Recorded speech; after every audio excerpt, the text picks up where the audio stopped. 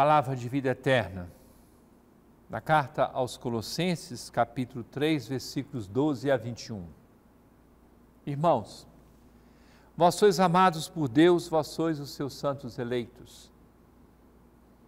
Por isso, revesti-vos de sincera misericórdia, bondade, humildade, mansidão e paciência, suportando-vos uns aos outros e perdoando-vos mutuamente, se um tiver queixa contra o outro. Como o Senhor vos perdoou, assim perdoai também vós. Mas, sobretudo, amai-vos uns aos outros, pois o amor é o vínculo da perfeição. Que a paz de Cristo reine em vossos corações, a qual fostes chamados como membros de um só corpo. E sede agradecidos. Que a palavra de Cristo, com toda a sua riqueza, habite em vós. Ensinai e admoestai-vos uns aos outros com toda a sabedoria. Do fundo dos vossos corações, cantai a Deus salmos, hinos e cânticos espirituais em ação de graças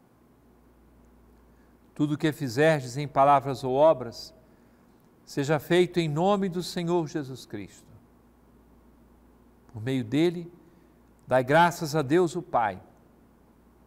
Esposas, sede solícitas para com os vossos maridos, como convém no Senhor. Maridos, amai vossas esposas e não sejais grosseiros com elas. Filhos, obedecei em tudo aos vossos pais pois isso é bom e correto no Senhor. Pais, não intimideis os vossos filhos, para que eles não desanimem.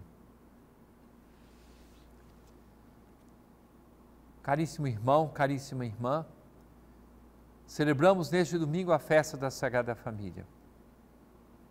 Deus é todo-poderoso. O seu filho poderia vir ao mundo de outra forma no entanto, o seu amor infinito e eterno quis que ele entrasse na humanidade através do caminho de uma família.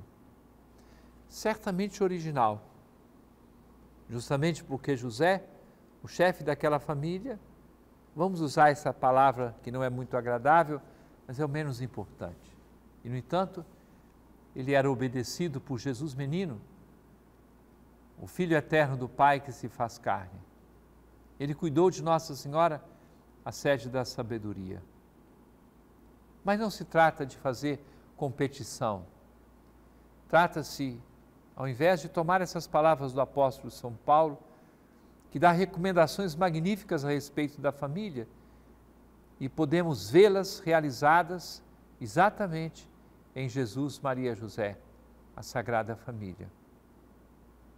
Que todos nós neste espírito de Natal, olhemos para a Sagrada Família e nessa Sagrada Família encontremos os caminhos para que as nossas sejam famílias cada vez mais sagradas. É palavra de vida eterna.